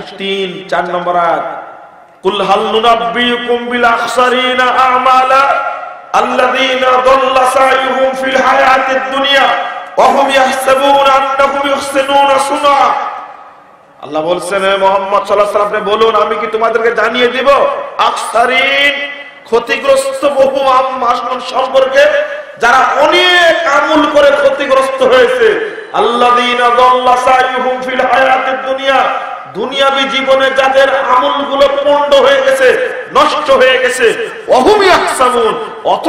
ধারণা করে তারা ভালো আমলই করছে। আল্লাহ বলছেন আমল করে পথভ্রষ্ট হচ্ছে, আর মানুষ বলছে কি? ভালো আমল করছে। কার দাবি সঠিক? আল্লাহর দাবি সঠিক, তাই না? আল্লাহর দাবি সঠিক। বন্ধুরা আমার অন্তত দুই থেকে তিন ঘণ্টার আলোচনা আধা ঘন্টায় করা সম্ভব? সম্ভব না। আপনাদের আমরা অনুরোধ করব, বলব আমরা এই যেমন সালাতের উপরে, জাল হাদিসের কবর রাসুল্লাহ সালাতের বই, আগে বললাম তাওহিদের উপরে পাঁচশো আটষট্টি পৃষ্ঠায় একটা গ্রন্থ আমরা রচনা করেছি বাংলাদেশে প্রথম। তাওহিদ এবং আকিদার উপরে সেই বইগুলো অল্প টাইমের জন্য আমার গাড়িতে পাওয়া যাবে। আমি মাঝখানে বক্তব্যের মাঝখানে কথাটা বলে দিলাম। অল্প টাইমের জন্য আমি চলে যাব, থাকব না আমি। তবে আপনাদের ঘোষণাটা দিয়ে গেলাম। আমি কিছু বই মনির ভাইয়ের কাছে আমি রেখে যাব। আপনারা বইগুলো সংগ্রহ করবেন। যেন আপনারা তাওহিদ এবং আকিদা, বিশেষ করে সালাদ এইগুলো যেন সংশোধন করে নিতে পারেন কথা কি বুঝতে পারলেন? বক্তব্য একদিন শুনে আকিদা চেঞ্জ করা যত কঠিন, একটু যদি চোখ ফিরান, বই পড়েন, তাহলে আরও আকিদা দ্রুত শিক্ষা করা সহজ। খুবই সহজ। চোখে দেখে একটা জিনিস আমল করা আর শুনে আমল করা এক জিনিস? না, এক জিনিস না। আমরা শুধু আপনাদের জন্য উৎসাহ দিতে আসি, বুঝ দিতে আসি কিন্তু মূল কাজটা করে লিখুন। বন্ধুরা আমার, আমি এখানে আমি এখানে একটা শর্ত বলতে চাচ্ছিলাম। আল্লাহ রাব্বুল আলামিন বলছেন যে, তারা আমল করে পথভ্রষ্ট হচ্ছে, আর মানুষ মনে করছে কি ভালো আমলই করছে। একটা যৌক্তিক কথা বলে আপনাদেরকে, দেখে আপনারা মেনে নেন কিনা। কেবলা মনে হয় এই দিক নাকি? এই দিক এই দিক কেবলা, তাই না? তো আপনাদের এই দিকে একটা এস্তেমা হয়, টঙ্গির মাঠে তুরাগ নদীর তীরে। হয়। সেখানে একটা আখেরি মোনাজাত মারে না? মারা হয়, তাই না? আপনাদের একটা যুক্তি দিচ্ছি, তারপরে দলিল দেব। আপনারা বলেন রসুল সাল্লামের যুগ থেকে নিয়ে আরাফার মাঠে আজ পর্যন্ত এখন সম্ভবত প্রায় পঞ্চাশ লাখ, ষাট লাখ, সত্তর লাখ মানুষ উপস্থিত হয় আরাফার মাঠে।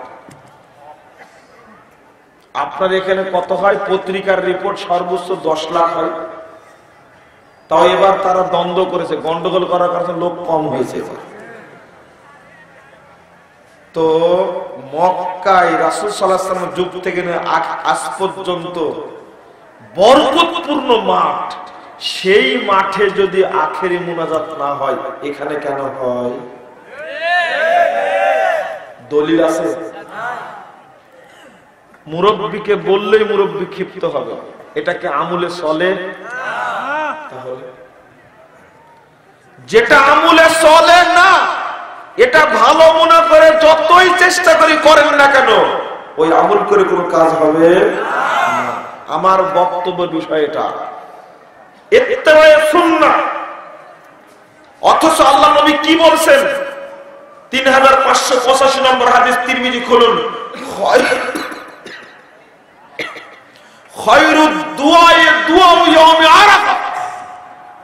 মোহাম্মদ সাল্লাল্লাহু বলছেন যে যেখানে দোয়া করুক না কেন, আল্লাহর নিকটে আরাফার দিনের দোয়া হলো সর্বশ্রেষ্ঠ দোয়া। আল্লাহ রাসূল বলছেন, আঠাশশো তিরানব্বই নম্বর হাদিস ইবনু মাজা খুলুন। যারা আরাফার মাঠে উপস্থিত হয়, তারা সবাই সরাসরি আল্লাহর মেহমান। দাহু মাজাবুহু। আল্লাহ তাদের দাওয়াত দিয়েছিলেন, তারা আল্লাহর ডাকে সাড়া দিয়ে উপস্থিত হয়েছে।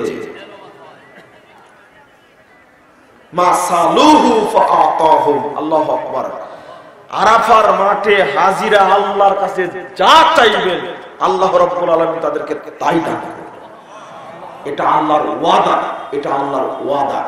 আল্লাহ বলেছেন 1348 নম্বর হাদিস সহিহ হাদিস সহিহ মুসলিমে বর্ণিত হয়েছে 1348 নম্বর হাদিস, মা মিন ইয়াউমিন আল্লাহু তাআলা আরাফা মিনান নার।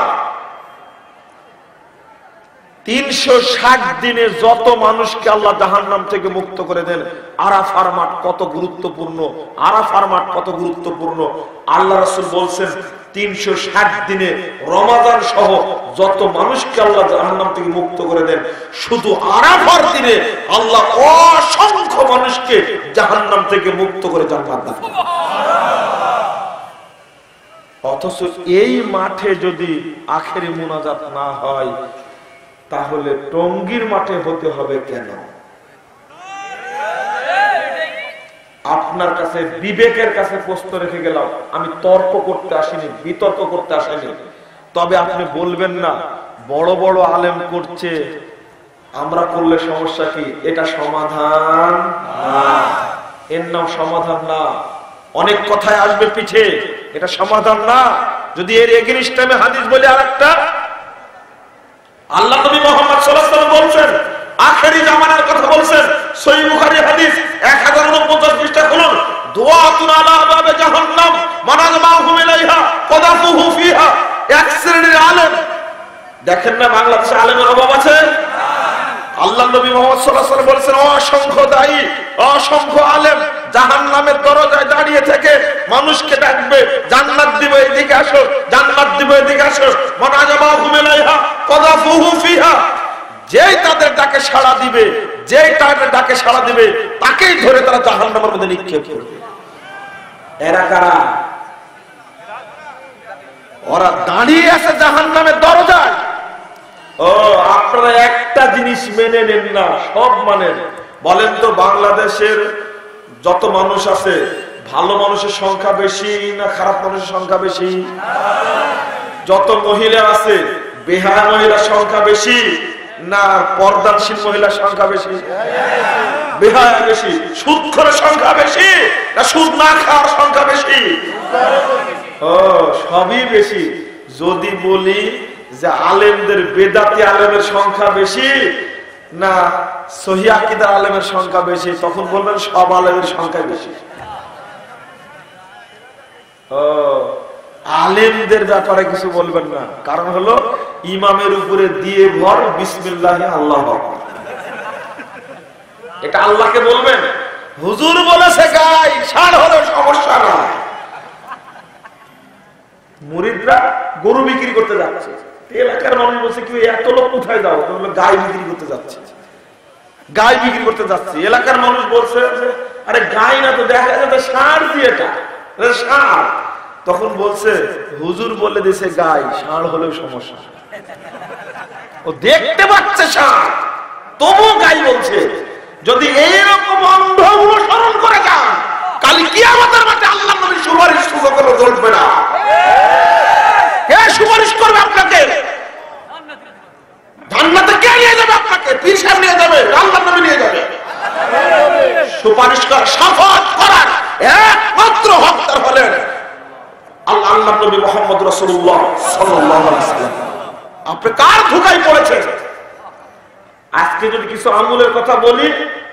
উদাহরণ দিতে গেলে মানুষ ক্ষিপ্ত হয়ে যায়। লিখে রাখলেন বইয়ের মধ্যে, বইয়ের নাম বলব না। বইয়ের মধ্যে লিখে রাখলেন, যে ব্যক্তি এক আদায় করবে জামাতের সাথে, এই ব্যক্তি তিন কোটি পঁয়ত্রিশ লক্ষ চুয়ান্ন হাজার চারশো বত্রিশ গুণ নাকি পাবে। দলিল কোথায়? কেন আপনি লিখলেন? ফজিলত কি নিজে নিজে তৈরি করা যায়? মুসলিম আসতে আবু খুলুন 560 নম্বর হাদিস। আল্লাহ নবী সাল্লাম বলছেন, জামাতে সালাত আদায় করলে 25 থেকে 27 গুণ নাকি বেশি পাওয়া যায়। আপনি কোথায় পেলেন 3 কোটি 35 লক্ষ 54 হাজার 432 গুণ নাকি? কোথায় পেলেন আপনি? ও, এটা বললেই ত্রুটি। আমি শুধু বলে যাচ্ছি, আমি আবার আসব এই মাঠে ইনশাল্লাহ যদি আপনারা ডেকে নিয়ে আসেন। তবে, শুনুন শুনুন, তবে বলে গেলাম, ওই ইট মারাটার ঢেল মারা আর মামলা করাটা মতদানের পরিচয় নাই। মতদানের পরিচয় কি জানেন? বই খুলে দেখি তো মুজাফর মহসিন যে কথাগুলো বলে গেল, দলিল আছে কিনা? এইটা হলো মতদানের পরিচয়। ইট দিয়ে যাচাই করবেন তো আবু জেহেল তো করেছে। তা আপনার মধ্যে আর আবু জেহেলের পার্থক্য থাকবে? যাচাই ইট দিয়ে হয়? যাচাই হয় দলিল দিয়ে। দলিলের অনুসরণ করতে হবে, দালালের অনুসরণ করা যাবে না। কবরে কে বাঁচাবে আপনাকে? না, আমির বাঁচাবে। না, দেখেন আমিরই মনে হয় বাঁচাবে। হায় হায় কবরে একাই যেতে হবে। কেউ সেখানে থাকবে না। আপনি একটিবার ভুল করলেন না? ভয় করলেন না? বললেন হুজুরের উপরে দিয়ে ভর বিসমিল্লাহ আল্লাহ আকবার। আপনাকে আল্লাহ যদি প্রশ্ন করে এই ব্যাকুব এই ব্যাকুব আমি যদি বলেছি তোমাকে প্রথম কি বলেছিলাম আমি তোমাকে? যদি আল্লাহ প্রশ্ন করে এই ব্যাকুব বল দেখি আমি তোকে প্রথম কি বলেছিলাম বলতো কি? মানে কি? বলেছিল হুজুর ধরো। দেখো হুজুরের কথা বলিস কেন? যদি আল্লাহ কথা বলে তোমার জবাব থাকবে?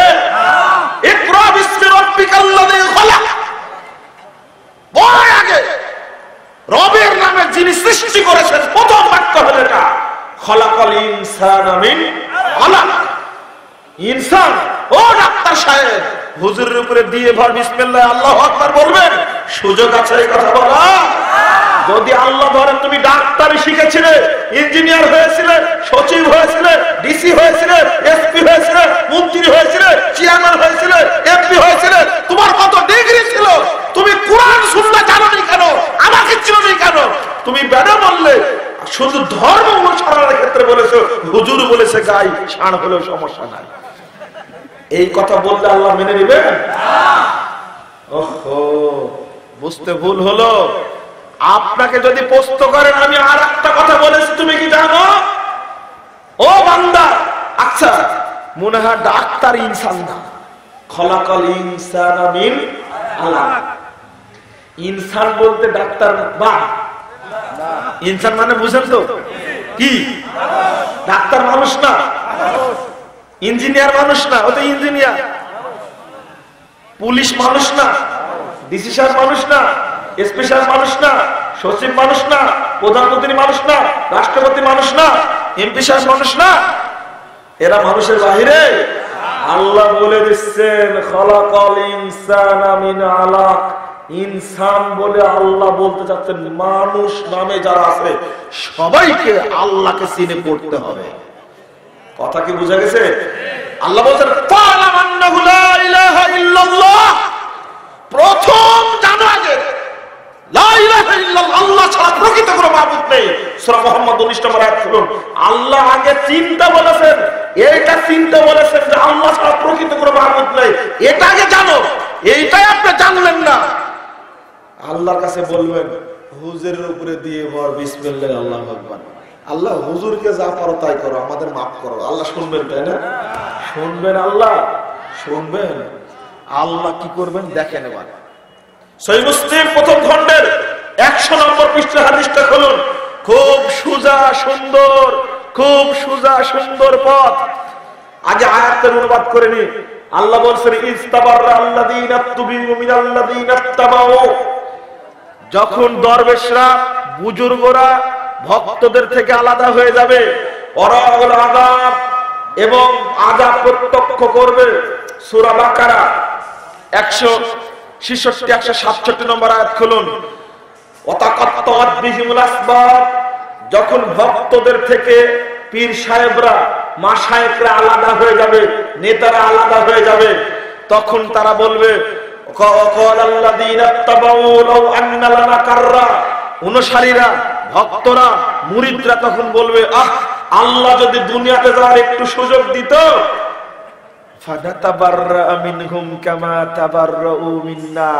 আজকে তারা যেভাবে আমাদেরকে ছেড়ে চলে গেল, দুনিয়াতে আল্লাহ একটাবার সুযোগ দিলে সাইজ করতে হবে দুনিয়াতে দুনিয়াতে আর আসতে পারবে? এই আক্ষেপ করে কোনো লাভ হবে?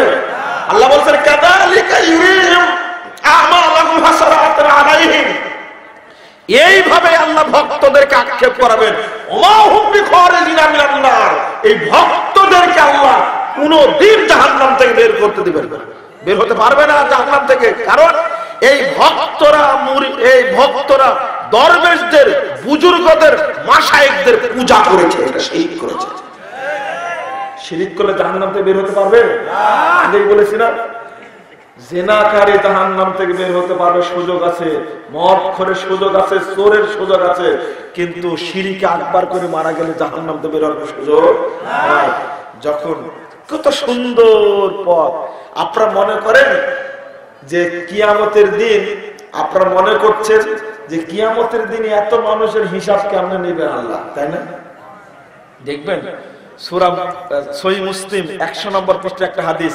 আল্লাহ রাব্বুল আলামিন ঘোষণা দেবেন কিয়ামতের মাঠে। শুনুন, এক নেত্রে তাকিয়ে থাকুন। শুনুন, আবার বলছি, হাদিসটা শুনুন তো, দেখুন তো, অবস্থা কিয়ামতের মাঠে কি হবে।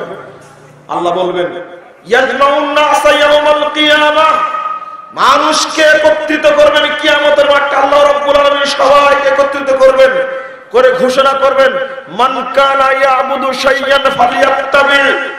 দুনিয়াতে যে যার এবাদত করেছ সে তার অনুসরণ করো।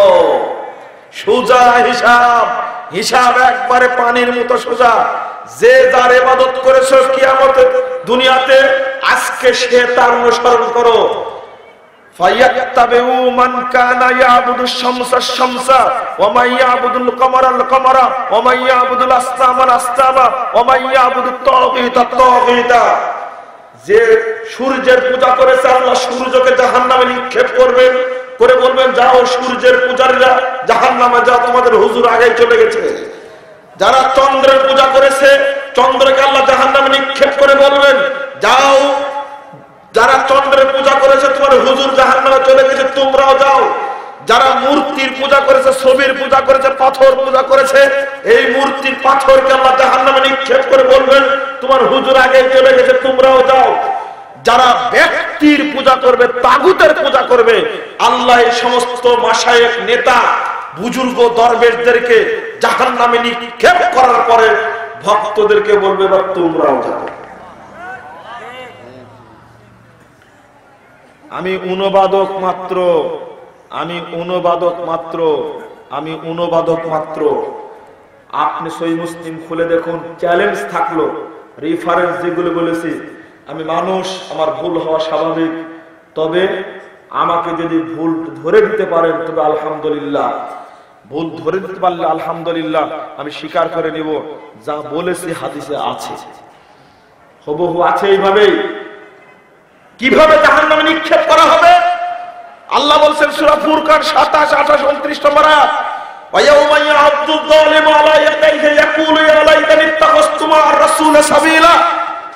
দুই হাতের আঙ্গুল কামড়াবে যখন ফেলা হবে, দুই হাতের আঙ্গুল কামড়াবে আর হায় আক্ষেপ, যদি আল্লাহ রাসুলের পথে চলতাম, কতই না ভালো হতো। কি বুঝলেন আপনারা? তখন আক্ষেপ করে কোনো কাজ হবে?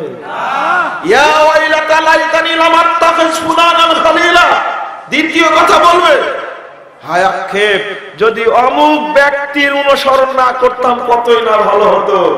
আজকে আপনি কার ভক্ত? আপনি কাকে মাবুদ হিসাবে গ্রহণ করেছেন? সেই দিন ঠিকই মনে পড়বে। উল্টা আপনিই বলবেন উল্টা আপনিই বলবেন আল্লাহ এই সমস্ত দরবেশরা, বুজুর্গরা আমাদেরকে পথভ্রষ্ট করেছে। আমার কাছে এসেছিল, বক্তব্য শুনেছিলাম, কোরআন হাদিস দেখেছিলাম। দেখার পর আমাকে এরা পথভ্রষ্ট করেছে। ওয়াকানা শাইতানু লিল ইনসানি খাযুলা। ইবলিশ শয়তান, এই মানুষরূপী শয়তান, বান্দার জন্য কতই না ক্ষতিকর, মানুষের জন্য কতই না ক্ষতিকর। বন্ধুরা আমার, আমি কথাগুলো বললাম আপনাদের জানার স্বার্থে, খবরদার অন্ধ অনুসরণ করা যাবে। দলিল দলিলের অনুসরণ চলবে, দালালের অনুসরণ চলবে না। দলিল চলবে।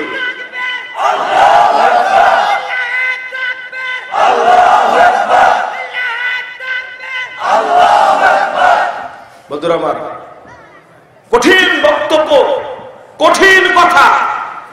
সূরা আহজাব 66 এবং 67 নম্বর আয়াত খুলুন। আল্লাহ রাব্বুল আলামিন বলেন ইয়াউমা তুকাল্লাবু ফিন্নার। আল্লাহ রাব্বুল আলামিন এই ভক্তদেরকে, অনুসারীদেরকে জাহান নামে ফেলবেন মুখের উপরে ভর করে, ইয়াউমা তুকাল্লাবু বুজুহুম ফিন্নার। জাহান্নামের উপরে জাহান্নামে ফেলবেন, মুখের উপরে ভর করে। আল্লাহ তখন আক্ষেপ করে বলবে, হায় আক্ষেপ, কেন যে আল্লাহর এবং আল্লাহর নবীর আনুগত্য করিনি? বলেন কিয়ামতের মাঠে আক্ষেপ করে কোন লাভ হবে? এত্তেবায়ে সুন্নাত সুন্নাত আমল ঠিক রাখুন।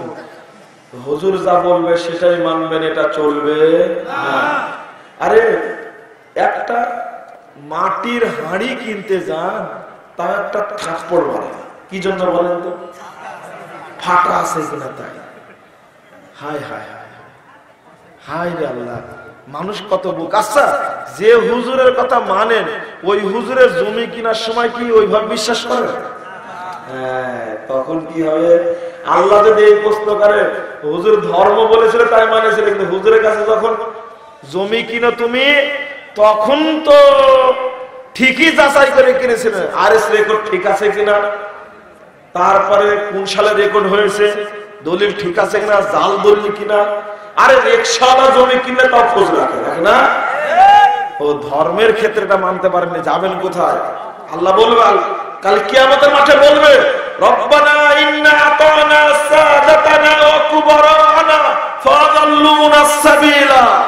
আক্ষেপ করে বলবে ভক্তরা, আল্লাহ, আমরা আনুগত্য করেছি আমাদের নেতাদের সাদাতানা ওয়া কুবারানা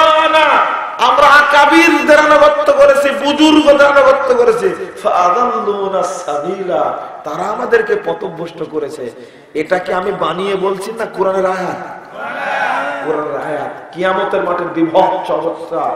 আপনাদের আমি অনুরোধ করব, বিশেষভাবে অনুরোধ করব, আপনারা কোরআন এবং হাদিস মেনে চলার চেষ্টা করবেন।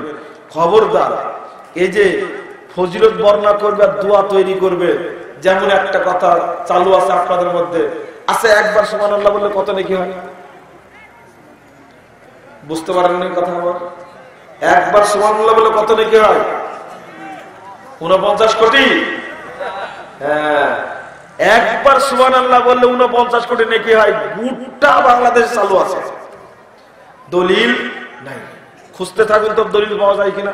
আমি কয়েকটা এদের শেখ চলে এসেছেন শেখ আমানুল্লাহ বিন ইসমাইল মাদানি, লিসান্স মদিনা ইসলাম বিশ্ববিদ্যালয়।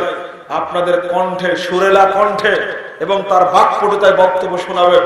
আপনারা বক্তব্য শেষ না হওয়া পর্যন্ত কেউ যাবেন না, ইনশাআল্লাহ। আমার কণ্ঠ নাই, গলাও নাই। কথা বুঝতে পারলেন? কিন্তু মাশাআল্লাহ তার কণ্ঠ আছে, গলাও আছে। সিহারটা দেখছেন কেমন? আলহামদুলিল্লাহ আলহামদুলিল্লাহ। বক্তব্য শুনে তারপরে যাবেন আমি যে কথাটা বলতে চাচ্ছিলাম, খেয়াল করবেন আমার কথায়। একবার সুমান আল্লাহ বললে উনপঞ্চাশ কোটি নেকি হয়। এই দলিলটা কোথাও পাওয়া যায় না। চালু হলো কেন? মানুষ চালু করেছে। ধর্ম যেন তার প্রত্যেক সম্পত্তি আমার সম্পত্তি যেন ধর্ম। অথচ হাদিসে আসতে সহি মুসলিম খুলুন প্রথম খন্ডের একশো আঠারো পৃষ্ঠা। প্রথম খন্ডের একশো আঠারো পৃষ্ঠা সহি মুসলিম খুলুন। আল্লাহ রাসুল বলছেন, কেউ যদি একবার সুমান আল্লাহ বলে, সাতটি আসমানে যত জায়গা আছে, সাতটি জমিনে যত জায়গা আছে, সমস্ত জায়গা নেকিতে পরিপূর্ণ হয়ে যাবে। তো তাহলে এইটা একটা দলিল পাওয়া গেল। আরও দলিল নাই। ওই উদাহরণগুলো এখন দিচ্ছি না। আমার জাল হাদিসের খবর রাসুল্লাহ সালাত এই বইটার মধ্যে লেখা আছে, বিশেষ করে একটা বই আকিদা এবং তাওহীদ খুব গুরুত্বপূর্ণ, পাঁচশো আটষট্টি পৃষ্ঠার এই বইটা সিরাতে মুস্তাকিম, নাম হলো সিরাতে মুস্তাকিম। এই বইটা আপনাদের জন্য খুব জরুরি। বন্ধুরা আমার, আমি আর কথা বাড়ালাম না। অনেক সময় ধরে কথা বলেছি এবাদত কবুলের শর্তের উপরে আপনারা এই শর্তগুলো মেনে আমল করার চেষ্টা করবেন। আল্লাহ তুমি আমাদের কবুল করো, আমিন। আকুল কওলি আস্তাগফিরুল্লাহ লি ওয়া লাকুম ওয়া লিসাইরিল মুসলিমিন। ওয়াসসালামু আলাইকুম ওয়া রাহমাতুল্লাহি ওয়া বারাকাতুহু।